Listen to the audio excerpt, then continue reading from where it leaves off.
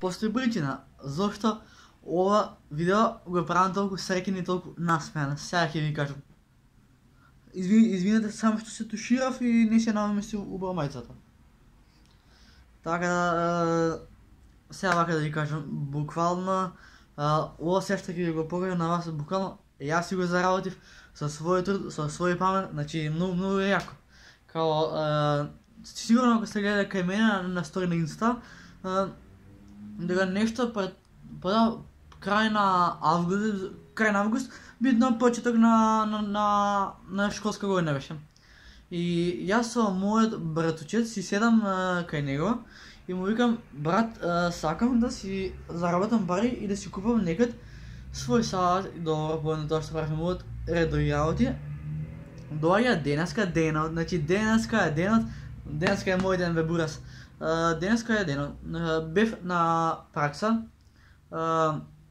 што да го направив? Бев на, на БитПС и бев во ГТЦ во, во еден салон. Не, не знам како, како да кажам, како сме, мило ми е на, на душата едноставно. бев до еден бутику трговски центар и буквално толку многу сме го сум го зјапал салатот, толку многу му се му се васкитував на, на, на садот и буквално си мислев, значи ќе дојде ден да го купам да го купам овој сад, Ќе дојде ден да го купам тој сад, Ќе дојде ден да го да го купам тој сад и фалам на на на, на Господ, ми дојде тој сад што сум го сакал од секад. значи буквално садот што е пред мене, а, со свој пари си го заработив, со, со свој труд и со свој памет.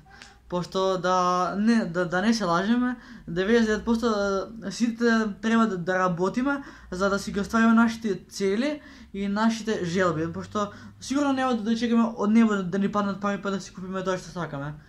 И буквално е, месеци унапред го планирав да купам салатот, ама немав денар у мене и буквално денеска, ау, бурас. Дојки го нема толку да, да, да се восхитуваш да си ги печеш рацете. не знам дали е до мене, да, дали ми е до мозокот, или многу сум среќен за, за, за овој сад што имам пред мене. Ако си го заработив, да, дадов пари што требаше, не, не ги жалам парите. Сега самиот на себе што сум си купил час, буквално саатот, саатов е италијанска марка, И долго време, време чекав да си го купам и конечно значи, а, си заработив пари и си го купив салатот, пошто а, ние сме најагата фамилија во Скопје, а и пошироко. А, значи многу е јак салатот, ево го. Да, да, му, да му отворам фолијата. Е, ово сад си го купив.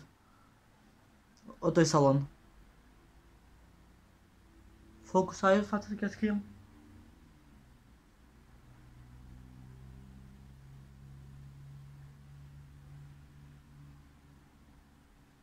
Фокус.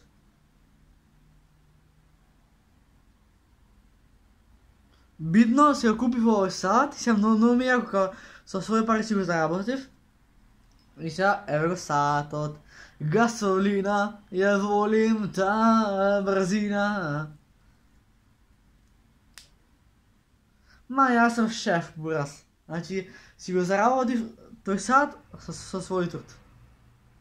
Да сите треба маци ми е голем, ама ќе го носам на, насот, че да ми го скатат. Пошто пошто кога влегов у салонот, од, од, од, од кога го, го платив, го ставив на рака и ако гледате, е тука да ги има маце луфта. Е па утре ќе носам на саче да, да ми го среди. Значи многу ја ќе го.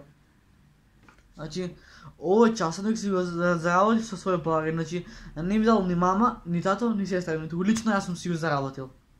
Многу сум среќен, што часовникот што го планирав долго време, си го купив. Брачо и сестро, ма сама флекс. Мислите дека не флекс, сега ќе што се го флексање.